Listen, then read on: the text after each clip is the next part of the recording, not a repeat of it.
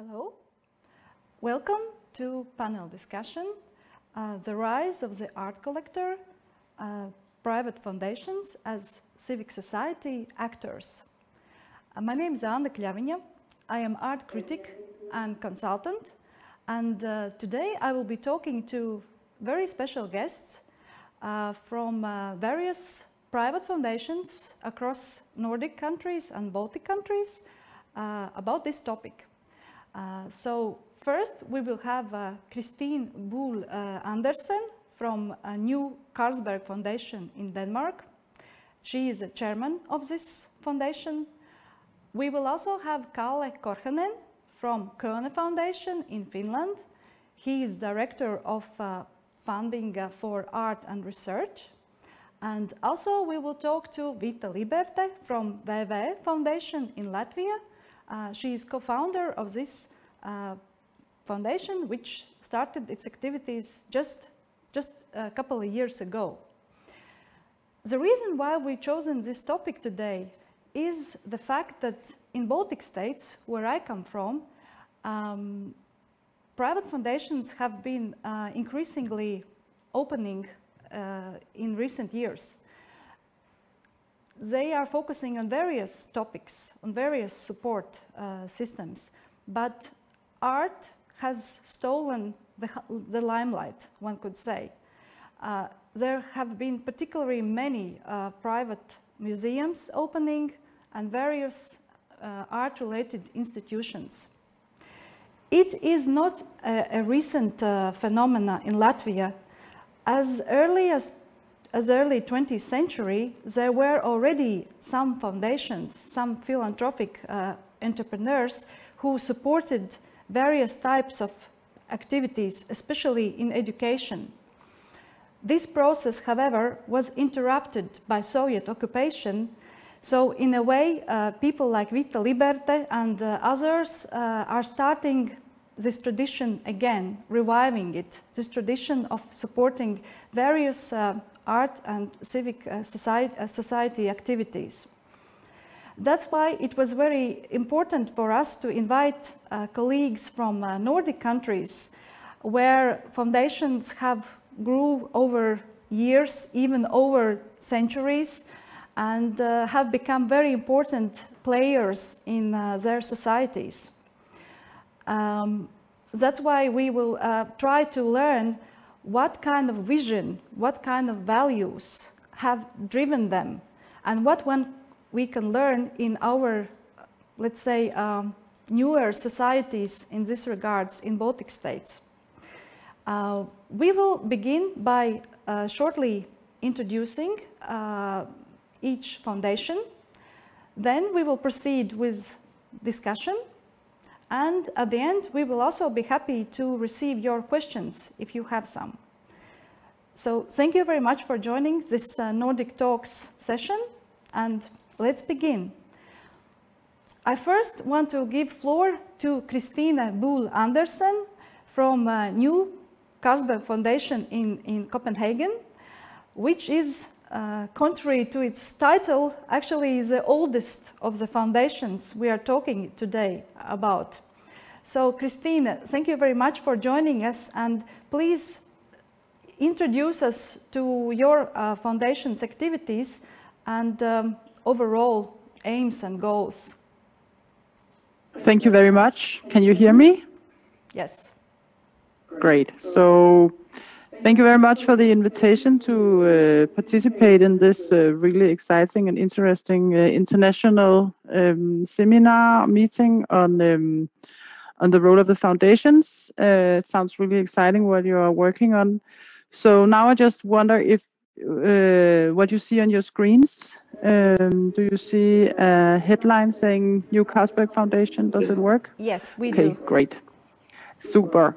Okay, so yeah, thank you for the introduction. Uh, my name is Christine Buhl Andersen, and since March 2020, I've been the chairwoman of the New Carlsberg Foundation, um, which is uh, which has been a very special sort of time to to start working here. But anyways, uh, I think for all of us, uh, the COVID uh, pandemic has um, has been. Oh, now I can't change the uh, the slide. Uh, yes, okay. Um, has been challenging, and I think we've we've we've learned something, but we've also been missing um, time before COVID, and uh, I'm also going to talk a little bit about that. But first, a little bit about the history of the foundation. The New Carlsberg Foundation was established in 1902 by the Danish brewer Carl Jacobsen, um, who uh, stood behind the Carlsberg beer. Probably you know this brand, and maybe you have also tasted it. Um, it's funded mainly by dividends from shares in Carlsberg AS. Um, and today uh, we continue to realize the vision that Jacobsen actually formulated um, at his time of promoting art in society and making it available to the widest possible uh, audience. He was a huge art lover himself. He was a collector. Um, he also funded the new Carlsberg Glyptotek with a fantastic collection of international artworks. Um, that is still uh, a very important part of um, the Danish cultural landscape, situated in the heart of Copenhagen next to uh, Tivoli and uh, with great collections. But um, the foundation uh, was was was created by him in order to uh, share with the people all over the country, uh, no matter what social background they had, the joy of uh, meeting art of the best quality. And uh, in many different ways, um, that is still the, the vision that we um, keep, also because it's part of our fundats um, uh, on what we should do with the money the, that we get from the sale of the beer. So uh, in uh, 2019, as you can see, uh, the number of uh, donation, uh, the, the, the amount was about 22.8 million euros, um, which is a lot of money. And you can say that um, in sort of very big headlines, um, the donations fall into three main uh, categories.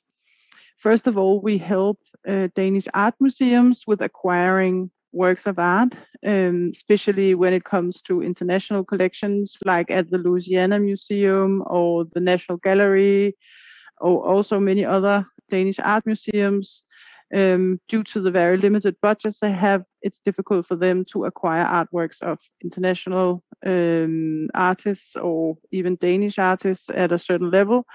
Um, and so they can apply to us and we can help them with the donations of artworks. Um, sometimes we do that hand in hand with other foundations if the amount is too big. And for instance, we have helped uh, the National Gallery acquiring a Matisse just to mention one uh, example. And um, of course, that's a very important uh, task because I think that very few other foundations uh, and certainly public sources have a great difficulty in, in especially that uh, purpose. So because because of the art market, um, so it, it, in that in that sense, we play an important role. Then we have another uh, category of, of uh, art that we support, which is art in public spaces. And that's uh, very much like the public art foundations um, going back to Carl Jacobsen's time, because his idea was that the best place you can put living art is in public space, because that's where everybody meets it. And it also helps make better, have better cities, better lives in that could be in schools, uh, hospitals, and uh, also it's a good place for people to meet art. And still today, that's a very big activity uh, within what we do. And um, that in itself is a very interesting field that has developed a lot in terms of what kind of artworks um, are being produced today, in what kind of processes, whether they are temporary or permanent, and since he uh, he uh, donated the Little Mermaid. She's very famous at the Copenhagen Harbor front. Uh, I think a lot has happened. And then we also support research within art history, uh, especially at the museums, but also at the university.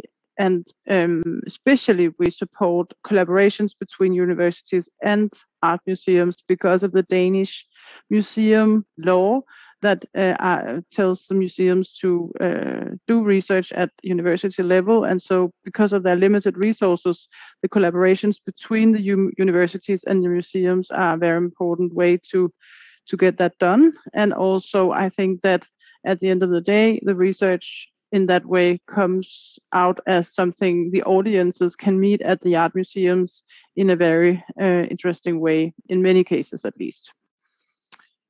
Uh, and then we also have what you could say an open or not earmarked fund available for other art related pur purposes. So we are open to um, suggestions and applications um, that don't fall into any of these categories. Uh, just to give you an example of something we donated recently to a Danish museum, I will show you this artwork, which is by the German uh, artist Hito Steyerl, that you probably know. Um, very interesting filmmaker, um, video artist, music, uh, cross-disciplinary um, kind of work, interested in media, technology, global circulation of images, um, capitalism, etc. And and this work has actually been acquired by a Danish museum situated in Aalborg with the help from us. So I think that's a way of um, uh, keeping a very high international level at at the Danish Arts Museums, um, and also to to make it possible for people all over the country to meet uh, this kind of contemporary art. This is an example of a relatively new um, way of working that we have uh, uh, began with, and that's a donation to uh, Tate Modern in, in London, in the UK. Um, recently, we have donated works by Danish artists to Centre Pompidou, the Met in the New York, other great uh, art museums abroad, but in this, but always based on applications, never as something we want to sort of press uh, down in the collections from, from with some kind of nationalistic purpose, but always based on the artistic uh, quality of what the artists do. And in this case, uh, we were very surprised actually to see an application concerning very early work by Olaf Eliasson, and also quite difficult uh, to handle in a collection, the Moss Wall from 1994.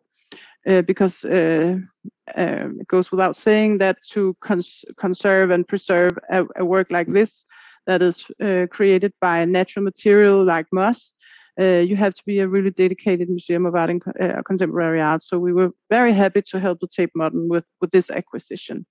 Uh, also because I think that it's an early work by Olaf Eliasson that doesn't um, copy many of the later works that most people perhaps know. And in that sense, I, we were really happy that the Tate Modern were, were interested in this piece. Um, and as mentioned, just to give you an example, we also work in public in with art in public spaces. And um, this is a very recent work created by a Danish artist duo called Randi and Katrine. It's called Kofoed Cigar, and as you can see, it's really a huge big cigar. it's uh, it's been given to a place called Kofoed Skole that since uh, during 90 almost 100 years uh, has been helping uh, people with um, drug abuse alcohol issues homeless people all kinds of um, people who who maybe feel a bit misfit into sort of normal society and uh, can uh, go to Kofoed Skole to work in the workshops. They have shops. They have cafe and and uh, and uh, and this school was uh, we were asked by this school to to perhaps uh, donate an artwork and we were sure that we would like to do that but then we pointed out Randi and Katrine and they came up with this a bit controversial idea about creating a place for people to smoke. Because when you think about smoking today, I think it's prohibited in most public spaces, uh, at least in Denmark. And, you know, smokers are considered uh, losers and they should stop smoking and it's not good for your health. But in this case, the people who still smoke at the Kofoed School actually felt uh, homeless and felt that uh, they needed a place to meet to have their cigarettes. So we accepted that the artwork would be a big uh, outdoor smoking facility um, designed like a big cigar. So it's really a fantastic piece that has been created with the best of copper work on the roof and with a copy of uh, they have been researching into how the banderoles of cigars have been looked ha, have looked over time and really done a lot of research on how cigars look and and was just inaugurated last week and I think uh, it's been very well received by the users uh, at Kofoed Skole. Quite controversial, but um, yeah, uh, very beautiful too. This is an example of a publication we have supported. Uh, I don't know if any of you have had the chance to go to Venice for the Biennale of Architecture. It's been difficult to travel, unfortunately, but perhaps you will have the possibility. It's super interesting. Uh, not only the art uh, biennials, but also the architecture biennials come up sometimes with the uh, very interesting subjects. And this year it's all about the Anthropocene.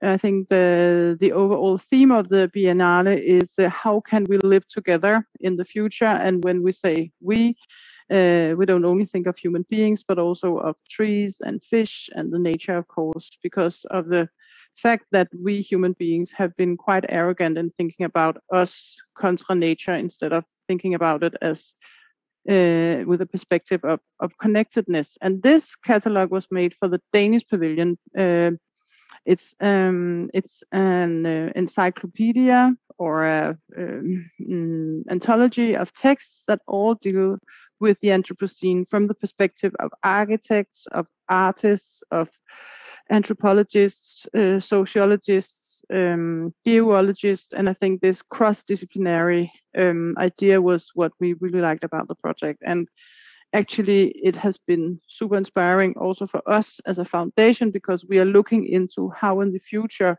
we can work more with the climate issue. Even though we are an art foundation, how can we, uh, in our coming um, strategy, think about um, this uh, issue that is so important for, for all of us uh, on the earth at the moment.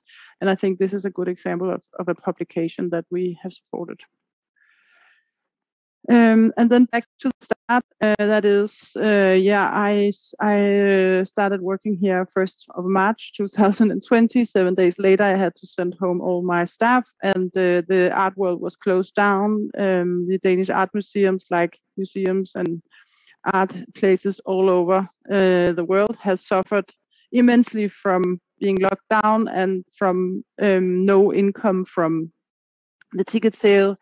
Uh, not to mention how um, people have missed the cultural um, input they get from uh, going to the cinema, the concerts, the, the arts um, exhibitions, etc. So very early on, uh, we decided to look at how we could help um, the, the art world uh, due to our, uh, during, uh, uh, according to our fundats, we cannot support music theater. We are only able to support uh, visual arts. So we looked into that when we very early helped um, with the first sort of big extraordinary restart fund in 2020 uh, donating 3.6 million euros to 29 Danish art museums. And in, at that time, we only thought about the art museums because there were other foundations in Denmark that were looking more uh, to help um, broader in the cultural scene, but also uh, especially uh, contemporary arts institutions that did not have a collection and um, and then this year we we we realized that the, the crisis wasn't over at all. I think many of the institutions in Denmark um, still suffer from the money they have lost from being locked down until now, until recently. And of course, this is a really bad situation, not only for the institutions, but also for all the artists that had uh, exhibitions cancelled, that couldn't um, show, that had produced uh, expensive uh, new works, etc., and then lost uh, the possibility of um, of an attending um, public. And so this time we thought, okay, we because the galleries did quite well actually. The commercial galleries apparently did quite well during COVID. Uh, so it was not so much the commercial scene we were looking at as it was uh, how to help small artist-driven spaces, uh, collective spaces uh, in a very small scale, sometimes run by a few people, uh, but uh, due to the fact that we, we thought this is like an ecosystem, we cannot only support the big art museums, uh, we also have to support the small um, sort of subcultural institutions. And so this time we we donated 5.1 million euros to 62 Danish art venues, some of them really, really small and local, and some of them really big, like Louisiana um, in Humlebæk, that you probably know. So so that was twice until now that we that we did these uh, extraordinary restart fundings.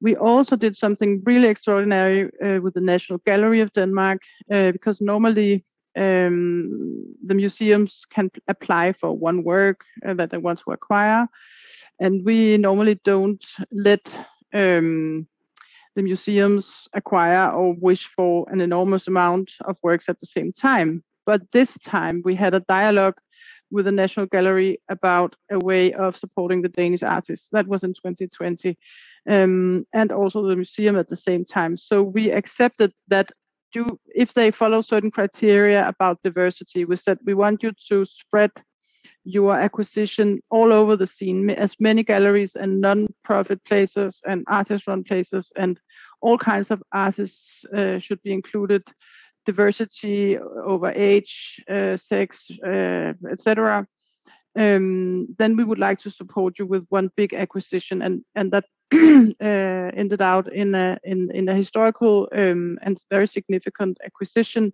by the National Gallery of 104 significant works by altogether 61 Danish contemporary artists. So that was something really extraordinary. Um, and then we also had um, thoughts about how we could help some of the non-commercial um, art uh, forms because uh, obviously performative artists were really hard uh, hidden by by the fact that we couldn't uh, keep meet that we had to keep distance and physical uh, um, sort of presence was not possible. So um, as soon as we were able to uh, organize just a little sort of physical presentation in the beginning with it was like for five people or something very small. We organized a performance festival where we invited 18 artists uh, to create new works.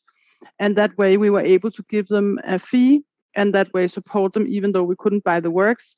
And then at the end of the day, when the performance uh, festival was ready during the summer of 2020, actually we were allowed to to to have a much larger audience than we thought when we started um, uh, to organize this uh, performance festival. And that's something we never did before. We never uh, organized festivals ourselves. We no- normally just support festivals, but in this case, we wanted to support the the artists uh, that work with performance art, and then um, and then and that's what what we did at that time. So um, yeah. Uh, since then, we also uh, yeah um, helped a lot. Uh, you know uh, how to, you know when when when the institutions uh, send us applications, how to you know uh, modify public and exhibition activities, how to help security uh, get to the level they they needed to be at um, and so on uh, that's not something we normally support but in order for them to to get over the crisis and get ready to um, uh, to welcome a new audience that is perhaps a little bit afraid and worry that they can get COVID. Uh, this is more details about uh, what we gave to the National Gallery and the festival. Um, and so uh, finally, what I should perhaps say something about in the Danish context is how how it works here, because I think what is really nice in Denmark, I come uh, for many years uh, from from the applicants uh, side of the table as an art uh, museum director for many years, and and um, I know how much it means that you can get funding from different sources. Uh, you get kind of your basic funding from the from the state, and sometimes from your municipality if you are situated in a nice one of those. Um, and then you get then you can apply for activities, exhibitions, acquisitions from private foundation. And finally, uh, the more you can make from the audience, uh, the better. And that's also what we learned before COVID that we should get as many uh, audiences to come and pay as possible. So I think these three sources together is what we call the Danish model, and it works really well because it means that if if the political winds go in one direction so that the state and the municipalities decide to to support certain things and the private foundation can help support other things so that it doesn't get too sort of narrow what what kind of trend sort of uh, is uh, is surviving at the moment. And i think that's a really healthy and uh, good way of of securing diversity in the art scene which i believe is the most important keyword to to creating quality and and liveliness at an art scene that that must be quality and and diversity. So I think that uh, maybe with this introduction to uh, to the New Carlsberg Foundation and um, and uh, and the Danish model, perhaps I should pass the floor and the word on to to the next uh, speaker. Thank you, thank you, Christine. Thank you very much for this comprehensive uh, introduction to your activities and with these exciting uh, new examples of, of your activity. Uh, I hope we will have a nice uh, continuation of this uh, um, conversation afterwards. Uh, so now I would like to give floor to Kalle Korhonen from Kone Foundation in Finland. It's a a, a, younger foundation, but also already more than 60 or, or close to 70 years of, uh, uh, of practice, uh, which was founded in 1956. So, uh, Kalle, please, uh, the, floor is, the floor is yours to introduce to your foundation and your focus.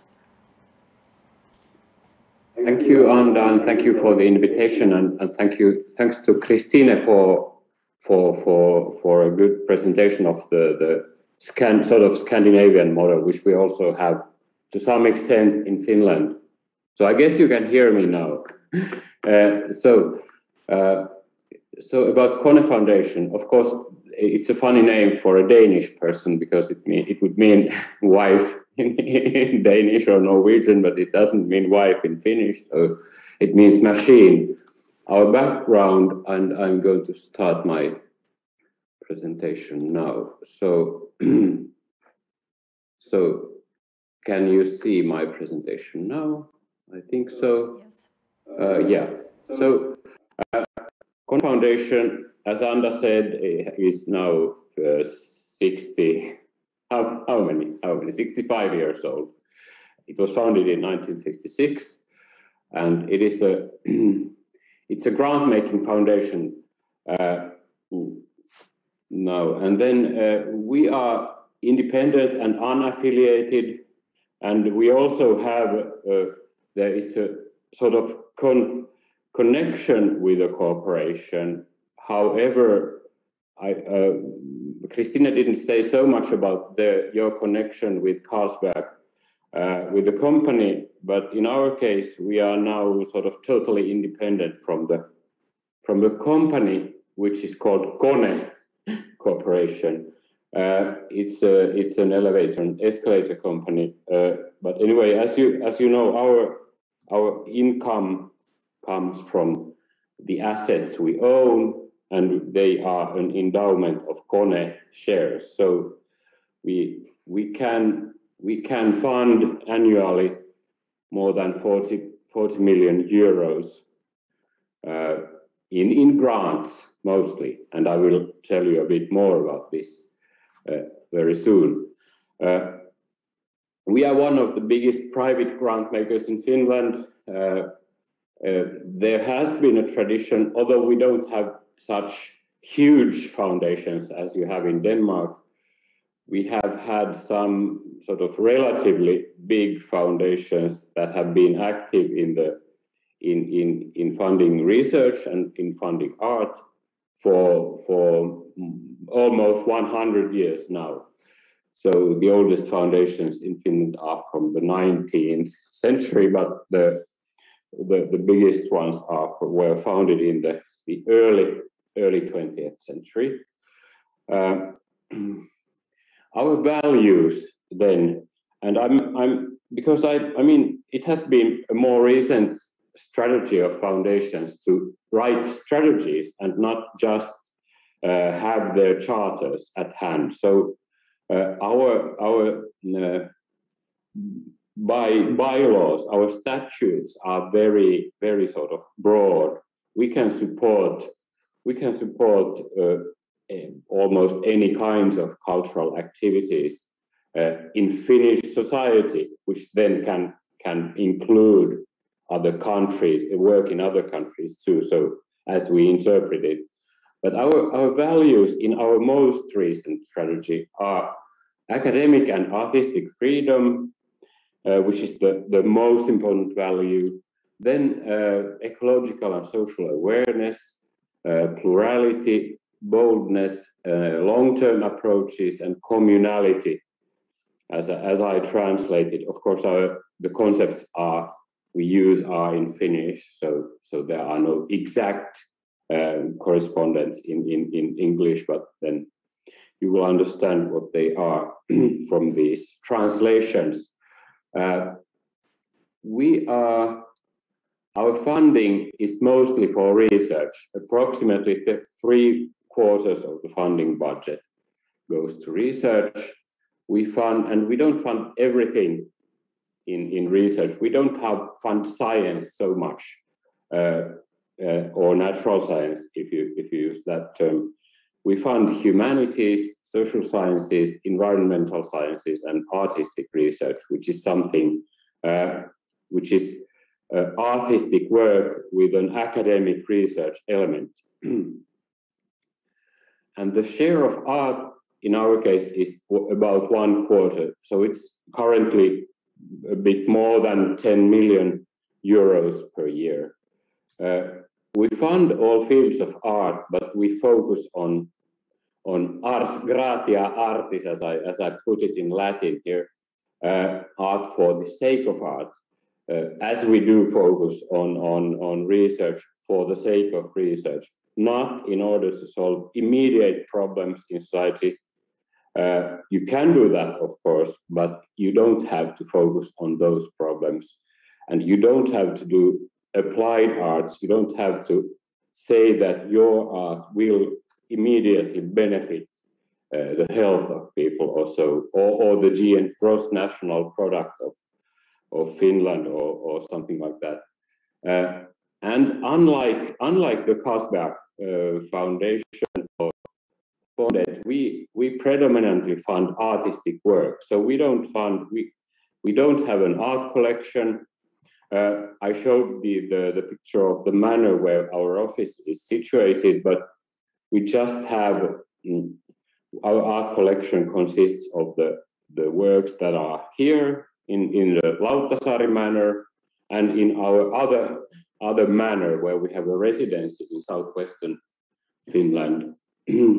so artistic work is the, uh, and of course in research we fund research work. So we fund the people with grants, with personal grants. Then of course with the other expenses they need to in order to do their work. And what is also important for us is cooperation between academic researchers and, and artists. So uh, uh, is as, as, as far as the Finnish uh, funding scene is concerned, we, we have had, or the Kone Foundation has had a, a niche of being a slightly different funder from the mainstream, uh, so to say, because as I said, there is a group of relatively big foundations who fund research and art, but who are often viewed as more traditionalist although they might not even be so traditionalist. But uh, and and and our funding, of course, it occasionally overlaps with other funders and with the public funders. Uh, and then uh, now I'm going to because I, I, noticed that that Christina was talking about the, the, the answering the questions Anda, asked me in the, in the email. So I'm going to briefly go into those questions because my my my presentation is almost finished. Uh, how the pandemic influenced your our focus and our programming. Uh, we also uh, we increased our funding to some extent and organized two special funding calls. Uh, one of them was a home residency program with 1.5 million euros in grants to about 100 grantees. So uh, a, a grant for many people to do their work at home last year when it was impossible to do it elsewhere. And then we had a special funding round this year for 17 institutions of performing arts or visual arts, uh, which amounted to 3.5 million euros, and which was there was no uh, funding call or funding round, which would, would have been open, but we called it uh, a sort of investigative or investigative uh, uh foundation work. Uh, those we, we chose specialists who, who then chose a long list and then we contacted them and then we we chose from there mm, uh, and, and a large percentage of the of the group received a grant, which was la quite large in this case, about uh, between 200 and 300,000 euros, because it was for several years. Uh, yes, I think, uh, yes, and then uh, because generally our funding decisions are based on anonymous peer review. So uh, that is the method we use in in making decisions for for funding when we fund the when we decide or when our board decides uh, which artists and which academics to fund. So that's that was I think yeah that's my presentation, Paldies, and and and I I hope we have a good discussion. Thank you, Kalle. Thank you very much. Uh, yes, uh, and now uh, let's uh, move to our Latvian guest, uh, to VV Foundation from, uh, from Riga, and not only from Riga, Vita will tell more. So thank you very much, Vita, for coming today, and please introduce us to your um, new foundation, which you have established just a couple of years ago. Yes, hello. Um, thank you so much for having me on this very experienced and um, established panel of foundations. Indeed, we are a considerably young foundation. We started just in 2018. Um, it's, um, it was founded by three founders, uh, a lawyer, an architect, and an art historian. We all share a passion for arts, and we decided three years ago that we want to give it a structure to primarily just share it with the public. Our main mission is to promote uh, contemporary art and art education in Latvia. And so far, our core initiatives have been uh, creation of Pāvilosta residency. Uh, is the name of the location where the artist residency is based in. We have uh, provided production grants, we do uh, commissions, we organize exhibitions, we support research, and we continue on growing our art collection. Uh, it's important to also mention that we always supplement whatever we do with the educational and public programming as we believe in a participatory approach to art. And I have just outlined uh, the three main values that we are always uh, having in mind when, whenever we think of a new initiative. First of all, it's an interaction. We still find that Latvian art scene is a very local and disconnected one. Uh, so we think it's very important still to promote uh, global art and artists uh, to come to Latvia. Um, we do this by inviting also creators over to Latvia. And we also consider that Latvian art and artists are still not represented globally enough. Uh, another value is inclusion. We see ourselves as a platform for uh, collaborations and we don't really discriminate against any kind of uh, art media. And the third one is knowledge. Uh, believe it or not, we still do not have a contemporary art museum in Latvia. The gallery scene is very scarce. So there's a huge vacuum of knowledge uh, around the contemporary art. So we consider that the, one of our main missions to uh, give an opportunity for learning and also for teaching. I'll just briefly and shortly go through the main initiatives that we've done uh, during these three years, regardless of COVID situation. Um, back in 2018, uh, we did a large show by uh, a distinguished Swedish artist of Latvian origin, Laris Strunke. And in a few days, we'll be opening a large show by an Austrian avant-garde artist, uh, Hermann Nitsch. I keep my fingers crossed that it will be opening because we had to postpone it uh, three times already. Uh, in parallel, we still keep supporting uh, up-and-coming Latvian artists by uh, giving out scholarships um, and uh, helping them to do their own shows. Uh, just recently, we had a Latvian artist uh, having her work uh, um, exhibited in Turkey, for example. Uh, we, like I said, we collaborate with different institutions. Uh, we've supported more than 10 uh, different art projects, including, for example, two contemporary operas recently. And being big fans of residencies, we also support Latvian artists going to residencies outside of Latvia.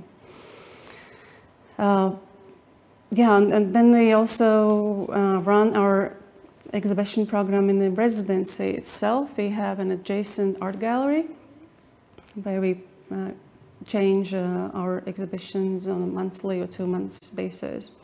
We display our own collection and also we allow residents to show their works in the, in the gallery.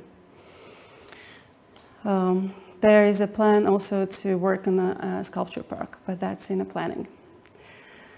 Uh, education, like I said, it's very important. We see as we see it as a main um, obstacle uh, for con contemporary art to widen its audience because of the lack of education around it. So we always, like I said, uh, complement our uh, exhibitions or um, also residency uh, with the um, lectures workshops. Um, for example, in residency, we collaborate with the local uh, School of Art for Children. And we also have a community of weavers uh, in our residency. They have a dedicated space there and they are sharing their traditional knowledge with the public. Um, collection, yeah, we still keep on expanding our collection, but I think it's important to um, uh, stress that uh, it doesn't really have a specific target, uh, nor does any, nor does it have any commercial interest. Mm, because really the interaction, exchange, and cooperation with artists is something that motivates us. So we see our collection primarily as the way to support the artists and kind of provide a platform for audience to see the art and meet the artists. Um, and residency, yes, the residency, or in short we call it PAIR. Uh, we opened it uh, just uh, this year in May, it's brand new.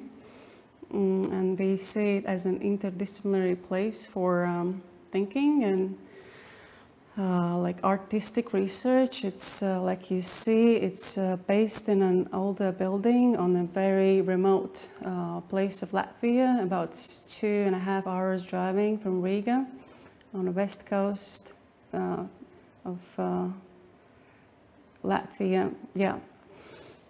And again, values that we um, have outlined for our residency. We think that and hope that it will be a thought enabling um, space.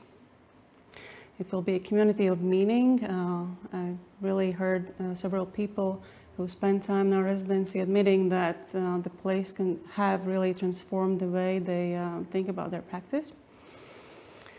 And one very important aspect also of our residency is that we believe in tradition. Uh, like I said, we have a studio of weavers working in it, and we have an adjacent garden where we um, uh, uh, grow healing herbs.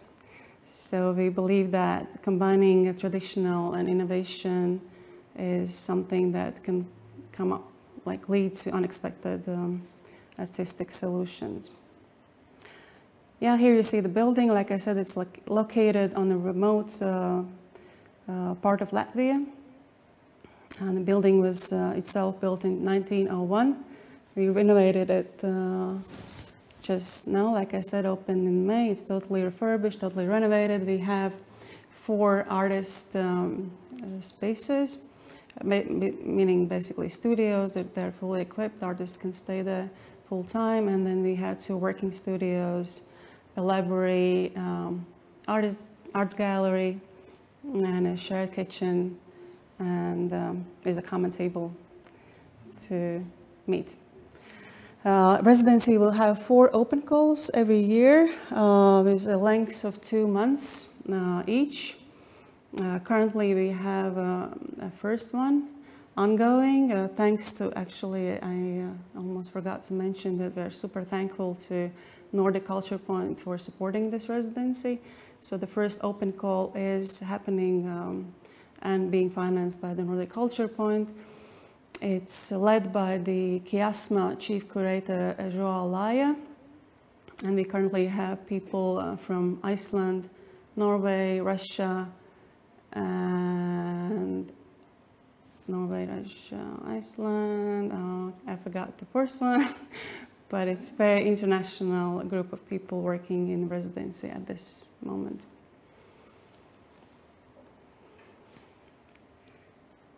That's in short what we have accomplished uh, during the three years we operate. Thank you, Vita. Thank you. Thank you very much for all speakers. Exciting to learn what exciting activities are going on uh, despite uh, restrictions of the last uh, last couple years almost. Um, let me ask you uh, a bit broader, maybe a philosophical question even. Uh, you, uh, like a new Carlsberg Foundation, uh, prior to this foundation, there was already a Carlsberg Foundation, which was, and I suppose is still focusing on research. Uh, the same can be said about KONE Foundation, which also started uh, especially with a focus on research. Um, but in recent years, recent decades, one could say that art is at the forefront of uh, of your foundations and um, and the same uh, for Vita, uh, they have chosen art, uh, contemporary art, as their main topic for their residency. So what is about contemporary art, uh, or art in general, uh, that you think expresses this zeitgeist more, maybe at this point, than other forms of culture and art? Why have you chosen uh, this uh, form um, as a means to connect with your society, with contemporary world? Is there something special about, uh, about art at this particular moment? Maybe we can start with Christina.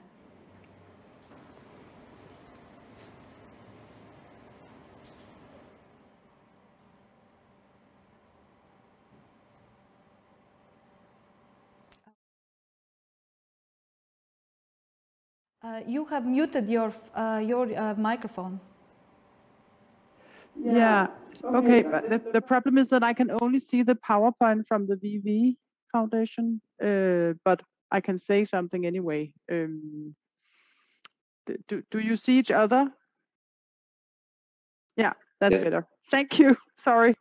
Uh, well, uh, just to explain the difference between the Carlsberg Foundation and the new Carlsberg Foundation, those have always been two different uh, individual foundations with each their own board and their own uh. And uh, the Carlsberg Foundation still exists, um, and they uh, support, they still support research, and they actually support with much larger amounts than we support the art world with. So it's not correct to say that it's a zeitgeist. These two foundations were, were existing side by side for many, many years. Um, and for for us, it's, it's we are we are sort of supposed to follow what's put in the fundettes by the founder, and it says that we should support research as well as contemporary art so I don't think it's correct to say that it's been changing because we have always been supporting contemporary art, but we, we also support um, research within art historian uh, fields. Uh, at museums and at universities.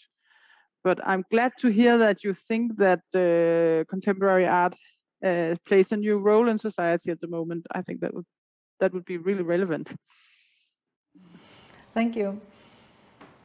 Kalle, what's your take on this? Yeah, yes, I agree with Christina that um, for us too, uh, contemporary art has been has been supported for for some time already, and and um, and I mean research is our main main main uh, topic. Uh, research funding is, is much bigger for us than than art art funding, but I mean I mean with contemporary art, uh, uh, of course, we often one often has the feeling that that it's not it remains a bit in the shade in a, in a society which usually has some some sort of uh, structures that are um, that can be conventional and and can be can be uh, traditionalist the word I used before. But I mean uh, that's why that's why I think uh, at Kone Foundation art has become more important in recent years and and of course it's it's true that we didn't fund art at all in the, the 90s when the foundation was much smaller. Uh, but but then we began to fund it with the when when the foundation founded the Saari residency, which is in in southwestern Finland, uh, where which was an artist residency, and then uh, some years after that we began to fund artistic work too. So anyway, I think uh, the main reason for us would be that it's it uh, it has the risk of being left in the shade. Contemporary art, in, although in in Finnish society there are other structures to support it, of course, too. Thank you. Vita, why, why did you choose uh, contemporary art to be the highlight of your um, program? Well, like I mentioned, um, art and specifically contemporary art is the passion that we all share, the three founders, so it just came naturally. That that's something that we love and we want to share with the public. But I also want to say that um, although um, like I said, our main mission is to promote contemporary art, and Pāvilosta Artist Residency also have the word art in its name. Uh, we consider ourselves a multidisciplinary place, meaning that we invite to the residency not just artists, but thinkers of any kind, being uh, philosophers, researchers, um, writers uh, and so on, um, hoping that the language of art is something that unites them and hopefully leads to um, some productive collaborations. Yeah, and um, Christina mentioned this Danish model uh, where there is a state uh, foundations, uh, private foundations, and yeah, private private individual money and, and, and uh, um, visitors of the shows and, and uh, various cultural events. Um, so where do you see uh, your role uh, currently in your specific society? Do you feel uh, some specific niche, you know? Uh, maybe you feel some gap which is left by uh, empty uh, by state institutions or other foundations. Do you feel responsibility for certain activities or, or, or you don't feel such responsibility? what is your cultural role currently in your society? Uh, yeah, I think for us uh, in Denmark, the, there are several things. Um, very few museums have the budget to acquire artworks for the collections. And that is a fact, even though by law they are um, they have to make sure that they collect but it's really hard for them with the budgets, the, the public budgets. So in that um, regard, we play a very big role. um, I also think that the collaboration between the universities and the museums when it comes to art historical research, also research that deals with exhibition um, programming, exhibition design, how people experience exhibitions and so on is something that we have been able to support by supporting uh, research collaborations between museums and universities. And then at this moment, I think in Denmark, there's a very uh, interesting moment after Corona, after COVID, because we went through a period with very sort of um, anti-elite cultural politics where the kind of art that we would support would often be um, described as something very elitarian, only for a very few people in the society, right against the visions of our founder, who felt that art was for everybody and should be for everybody.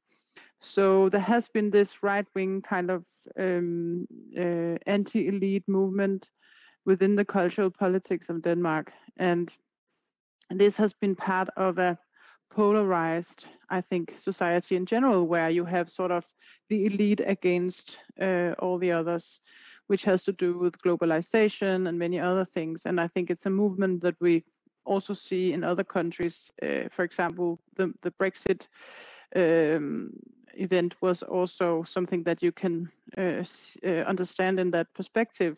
And I think this polarization in society is very bad because we we are living in in difficult times with a lot of issues that many artists address in their artworks, even though they are not supposed to, as it was said before um, uh, by Kalle, that they are not supposed to come up with solutions or results or even um, make sure that um, some kind of income is growing or anything. But still, what they deal with is very relevant for many people. So I think that at this moment after COVID, there the population really were missing art and culture, the politicians suddenly realized that society cannot do without culture and people need art and culture. So they have suddenly changed the rhetorics.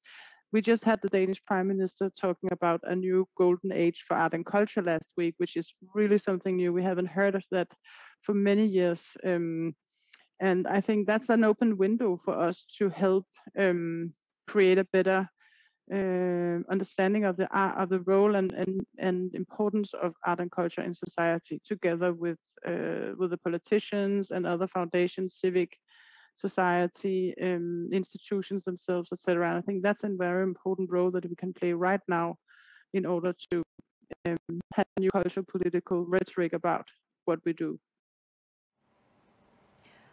And if I may uh, add to you, Christine, uh, do you feel uh, appreciated or, or taken into consideration uh, with your efforts? For instance, uh, absolutely.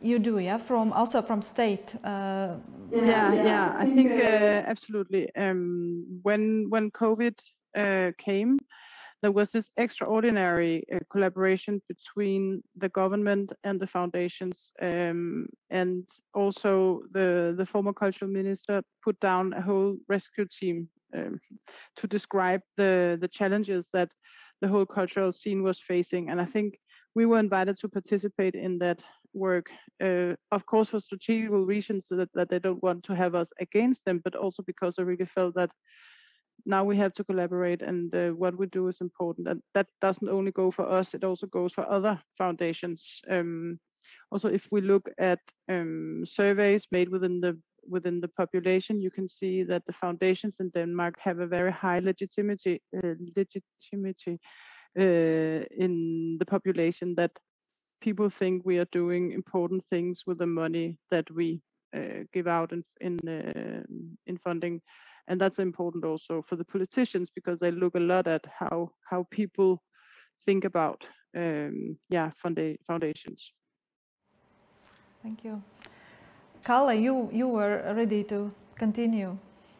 Yeah, yeah. It was very interesting to hear that you had a sort of extraordinary collaboration in Denmark because we had the same. We had exactly the same phenomenon in Finland. We had uh, sort of uh, extraordinary funding, uh, mm, which was organized together by, by the state and, and, and some private foundations.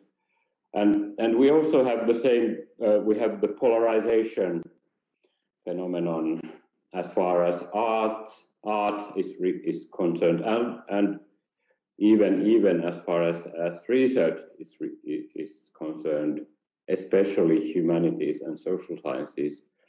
But uh, but I mean, uh, in Finland now the situation is is quite interesting because we have we have had a strong funding for, for the arts coming from the lottery uh, lottery profits.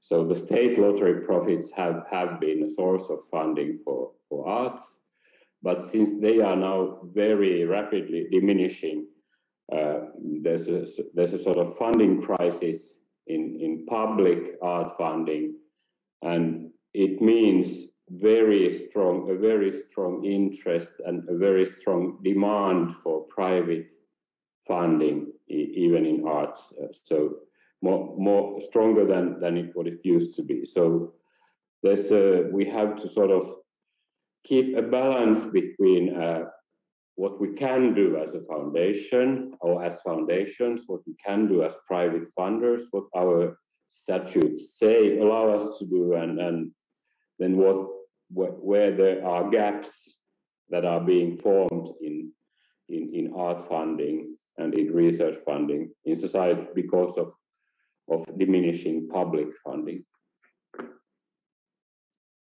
Thank you. Uh, Vita, uh, how do you feel with your new foundation? Uh, do you feel some signs that there be uh, there will be uh, cooperation between your foundation and state and uh, other foundations, or you have the sense that you are left alone to struggle your, on your own? I not only see signs, but we actually cooperate both with the state and municip municipal institutions, and it's been fantastic so far. Uh, be it uh, National Museum of Art, that we do an exhibition of Hermann Nitsch at this stage. Uh, the collaboration is very professional, and I found it very productive and useful, and also municipal. Um, uh, the municipality, has been very welcoming and we don't ask much, but whatever we ask, they're very, very uh, forthcoming. So I can't say anything uh, bad, really. it was not the purpose. it was not the purpose, but uh, I'm happy to hear, yeah, that there at least there is a dialogue.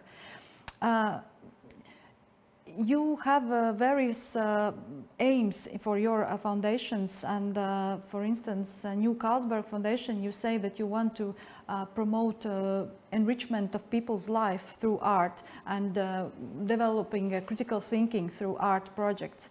Um, do you measure your impact? Do you measure this achieving of your goals mm -hmm. and how do you do it and maybe there are some examples where you you can say that you really made a difference uh, in some uh, yeah. aspect?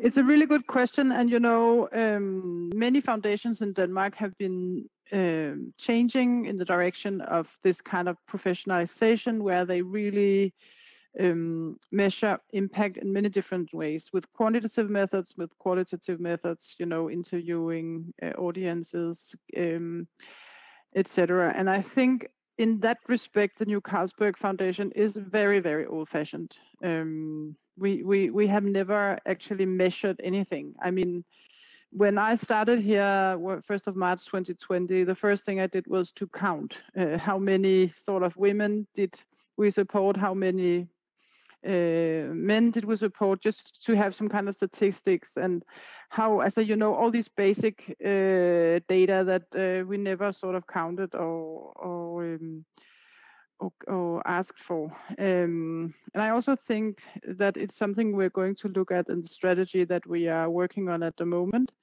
Um, we did some few evaluations of some of the projects we did within um, educational field uh, and also the performance festival actually last year we we evaluated uh, but it's not something that we normally do um, and I know as I mentioned from other foundations that they ask um, recipients to really do that. I mean, because I've been fundraising as an as a museum director for many years myself, and know how much work and effort we had to put into to measuring the the impacts.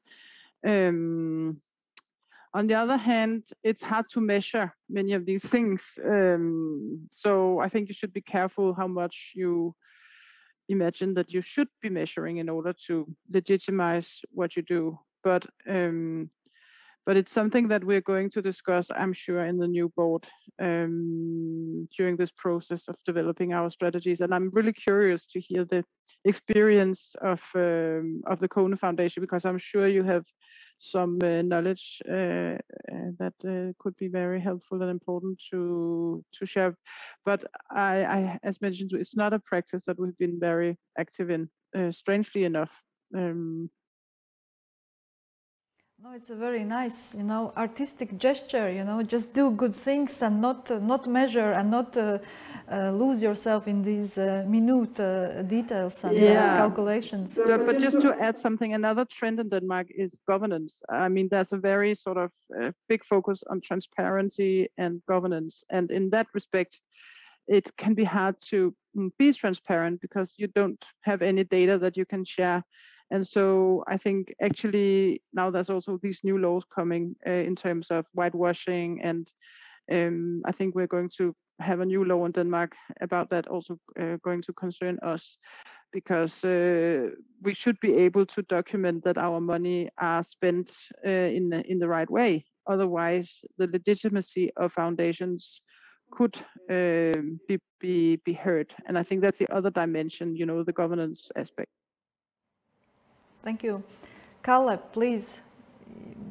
Yes, very good points again by Christina. Uh, uh, as uh, as she uh, exact well almost exactly like the new Carlsberg funded, we we don't talk about measuring our our impact. We we sometimes organize uh, maybe impact assessment, which is qualitative, uh, then and addresses certain maybe thematic funding calls. But now, since our values now for the first half of this decade are academic and artistic freedom, so we we really try to uh, uh, counteract the tendency in society to require profit from every activity. So even even require immediate profit from from scientific activity, research activity, or artistic activity. Uh, but of course, then, then there is the accountability side or the legitimacy side, and which we have to take into account. So we have to uh, we have to somehow take care that that the money is well spent, so to say. It's not it's not sort of wasted. Uh, and but but that that and that's that comes from trust, of course. We we try to select the grantees uh, carefully. Uh, of course, we occasionally take risks, which, which, the foundations can do, but and then then we support and and uh, try to be in contact with them. So in a way, in ways that what help them to do their work. We we have in fact what we call Grants Plus, a Grants Plus program, which means that we we support the people we need, uh, uh, we fund, we support the people we fund with other things than just money. We, we offer them some sort of spaces for, for meetings and then, then uh, some trainings that are not in the in, in, in exactly the fields that they are working on uh, and so on. So, I mean, there's again a balance one has to find in in doing in funding research and art. And I mean, uh, I, uh, and I, and I of course hope that there there will always be funders who who are not not focusing on immediate results, immediate profit, but also on on long term impacts. Yeah, thank you, Vita. Uh, what impact do you hope to make or plan to make? Uh, what's uh, your observation about your society where you operate? Well, for us, it's probably too early to really uh, measure any impact, and obviously, it should also be measured by those who feel it. I can just say that, you know, during these few years, we felt like tremendously happy just hearing people saying, you know, this show changed the way I look at the art, or some have even said, like, it has changed my life. Um, and also, it makes me very happy, for example, just pass by the residency at night and see people working on it in it. So, this is something that I measure it for myself and it makes me happy. We don't really have any long-term measurement targets or anything like that. And uh, Vita, you also, as a lawyer, you are in contact with mm, with uh, many or substantial number of uh, other wealthy, civic-minded uh, entrepreneurs or other professionals who have uh, acquired, uh, accumulated some amount of means and would be interested also to start their own foundations. Uh, so what, uh, what recommendation do you give to these people? Uh, what are the signs? Where could they invest their money? Um, uh, indeed, there have been several who've been asking me for advice and all I can say is just follow your heart. It's that easy. Uh, if you want to do something in arts, you have to love it. You know, there's no foundation without the passion behind it.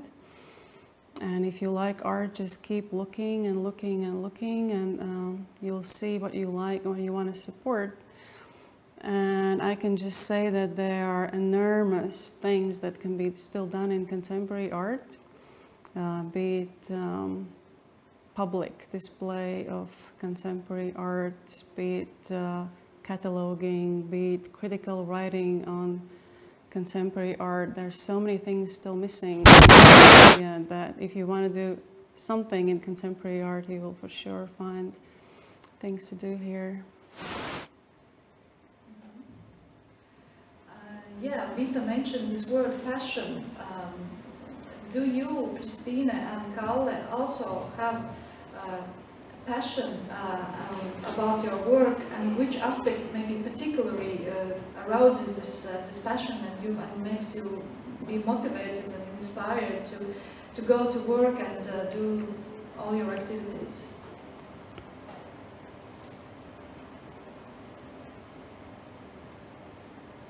Do you want me to start? Yes, please. Okay.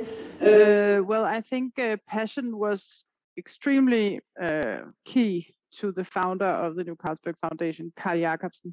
If you read his speeches and um, what he said to people when he was um, in public, um, you can see that it's all about passion and and that this passion for art um, really made him want to collect, but also to share. And I think um, um, that's what we should keep in our hearts. I mean, um, of course, with governance and um, laws, etc., we should be regulated in a way that allows foundation to survive also in modern times. And sometimes perhaps you would say that passion is the opposite of professionalism, but I don't think so. It shouldn't be like that. I think that it's important that we are still passion driven. Um, and when um, um, when you talk about people saying, you know, this changed my life, or these are also this kind of experiences that I feel can sometimes make you want to go to work tomorrow, even though there's a lot of, well, I don't know what, uh, bureaucratic work as well, because you feel that you can share art experiences and your passion for art with with people, um, especially in times where many people think still that well, visual arts, is not for me, it's something only for the elite. We still have these social barriers. And that's um, something where I think passion can build bridges. But of course, um, uh, the passion should also be with the artists, and it should be us that sort of helps them keep passionate about what they do because it can be very really uphill to be an artist and make a living from that. So that's also what's passion about. It's about um, um, encouraging the art world to go on because it's not the normal sort of way to create a career or make a, make money. So that's also what's passion about for me in this role and position that I have. Thank you, Kalle, what's passion passionate uh, in your yes, profession and yes, uh, in your foundation? Is, uh, absolutely, it's absolutely necessary. Uh, it is very present in, in our current board board of trustees and, and in our personnel too. And I must say that it's also it's very very much required even in also in, in research funding. So if you and then the passion can there are risks for for for passion nowadays in, in, in counting, for example, if you start to, if, if, if art funding or research funding becomes too focused on, on counting the outputs, counting the exhibitions, counting the, the audience numbers, counting the publications and so on, then you can, you can lose the, the passion, which is, uh, which is an absolute requirement. Uh, yes, and um, the world is uh, becoming increasingly complex, as you already your uh, your foundation statements already predicted and uh, affirms it. Uh, so, how do you see where will your future focus will have to turn, or you want to turn your uh, future focus to include what kind of subjects, what kind of artistic production? Um, you have been already quite innovative, all of you, but what do you project in, in, a, in the coming, uh, coming years or coming term? Christina, maybe you, again, you want to start? well, yeah, sure. Um, well, I still think that public art is a very interesting field of uh, um, of developing, um, and many new artists uh, appear with great ideas about how you can um, work in public spaces. So I think for sure we're going to to focus on that. Um, I also think that we are challenged when it comes to the, the the globalization and the international relationships because of the climate crisis, but also after the pandemic um, that people don't travel so much. And I'm I'm curious to think about how we can work internationally in the future because I also always felt that it's not enough to have a national scene. You have to exchange with other um, scenes in order to develop and also in order to understand each other um, across cultures and across natures. So I think we have some dilemmas at the moment because it's it seems to be a bad thing to travel as much, but on the other hand, we want to keep exchanging um, ideas um, across borders. So I think that's really tricky. And I'm curious to see how we're going to deal with that. Also, to hear what you think about this problem. Um, this is a way of meeting across borders, which I really appreciate on Teams. Uh, or is it uh, something else? It's uh, Zoom, uh, which is great. And we learned a lot from that possibility. But I also think that um, the materiality of art should still be uh, something that you can experience physically. So I think for many museums, the business model is challenged. Um, and I, I'm not sure how we're going to deal with that in the future. Yep. Kalle, Vita? Yes, I, I think we have to, uh, because I mean, inter crossing borders is important for us too, and, and, and crossing national borders, yes, definitely, but then also crossing disciplinary borders and between between artists and and academics. So, uh, but the, the what is lacking in those in that field is are the sort of permanent positions or the structures that you would have.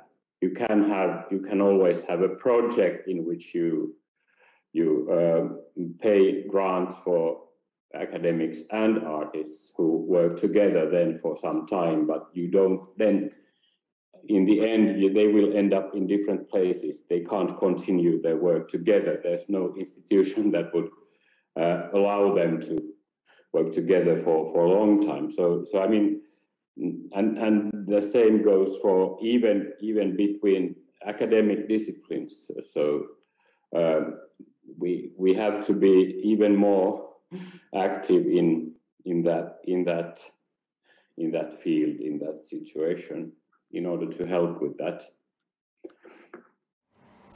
thank you Vita Thank you. Um, well, there are two initiatives that we're currently working on. One is in the um, public art scene that Christina mentioned. In Latvia, it's still very um, non-explored, so we are working currently on a sculpture garden adjacent to the Pavlos residency. That's one of our up-and-coming projects. Another one is a publishing house. Um, during COVID times, uh, I see that people uh, have time to read more and more. So, and we still uh, see a lot, lack of um, literature on art, especially contemporary art here. So that's something else that we are working on right now. And uh, we are close to the, the, the, the end almost. Uh, no questions have popped in, uh, but um, uh, as this uh, inspiration for this Nordic talk uh, was developing situation in the Baltic region that there are new foundations coming up and people want to be involved with arts and cultures and with art and culture. Uh, you, uh, Christine and Kalle, uh, you come from a much more longer tradition society in this regard. what would be your encouragement? Why should people create their own foundations based on your uh, mm, founders. What would you say? Why? Why should uh, people do it and uh, what's the benefit to the society from it?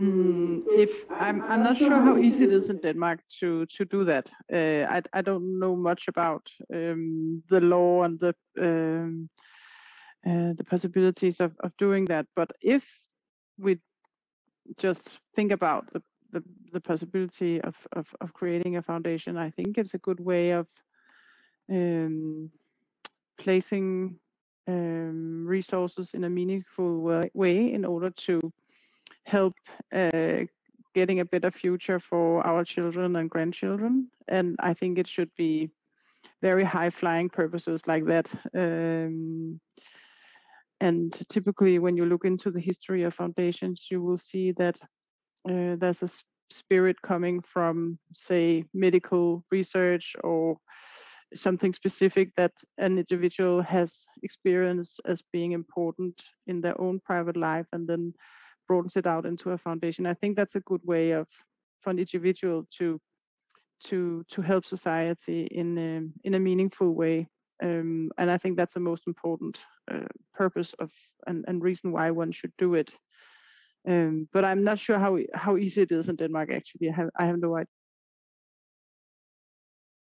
As a as an idea, as an idea, yeah. Thank you. Yeah. So uh, I think that, uh, yes, absolutely, you would need to uh, be thinking about the, the profit of the whole society or the whole humanity. Uh, and then I, I would say that, well, because if, if one starts a new foundation, which is, of course, in, in Finland it is possible, and I guess in Latvia too, because it, we have heard the wonderful VV Foundation. Uh, so you can, because people can choose uh, between setting up an endowment that or uh, an endowment that that that sort of stays there. Or you can start a foundation which works as a spending down foundation. So you can have it for a, a, a set of years like 10 years or 20 years or so.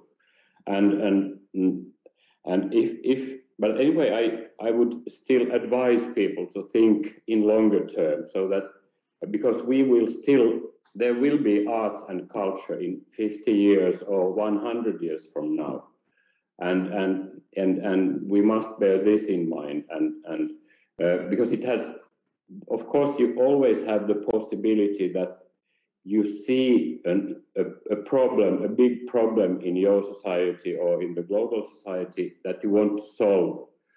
And there you have very good, you will have very good advice from uh, foundation professionals or philanthropy professionals in the US, for example, where such foundations are numerous uh, or and such philanthropists are numerous. But then, then it would be a good idea to think in a, a, slightly longer term and to think big. So I think, I mean, uh, to look at the, have a broader view than, than just the, the problem, the definite problem you want to solve. Thank you, thank you. And Vita, what, what kind of society do you envision for yourself in, uh, in, in 10 years' time, or wh where would you wish to be? What kind of uh, colleagues you would like to have? Colleagues in the arts field? Well, the same that I have now. I don't really hope for anything better that we have right now. Well, like I said, we really uh, work based on the three values that I mentioned. So I hope that, you know, whatever we do now will hopefully strengthen both the um, interaction between Latvia and global art, um, expand the knowledge of uh, local community about the contemporary art, uh, and also hopefully uh, have the art uh, uh, field be inclusive because it's similar. I was quite interested to hear that in Finland and Denmark, uh, both Christina and Carl mentioned that uh, there's a polarization uh, that you feel in an art field, and that's even more, I think, uh, relevant for Latvia. So hopefully, um, uh, this go, grows much smaller. Mm -hmm. Um, if you have some uh, parting words, uh, you are uh, welcome to, to, to share them now. Uh, from my side, I am very uh, thankful to you that you allocated time out of your busy schedules to share how your organizations um, speak about your values, your set of values, and how it can be inspiring for others to, to create this set of values for the future and leave your uh, legacy and influence uh, meaningfully yeah, the future. Uh, it was very inspiring, very uh, profound uh, revelations and insights. Um, thank you very much. Uh, if you have anything to add at the end, please um, do it now.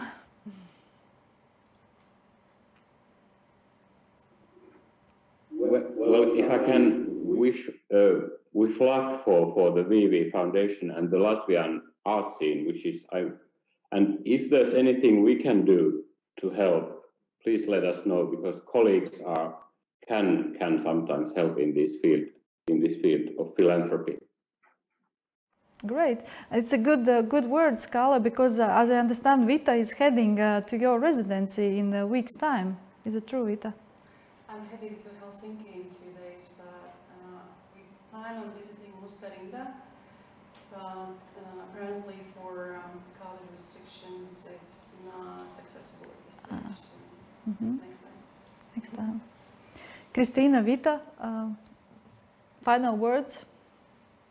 No, I just want to say thank you too, and I also find it very interesting to follow uh, the development that, that you're seeing uh, with the VV Foundation, and I hope that the it will have a big impact, even though you don't measure it so much, perhaps.